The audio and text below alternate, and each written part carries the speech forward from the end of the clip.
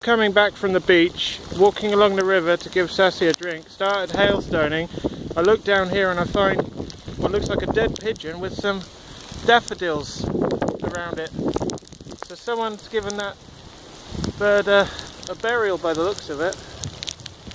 Isn't that strange? There you go. A pigeon burial at Nairn River. Come on, let's go, Sass. See that? Look, don't eat him. Let's go.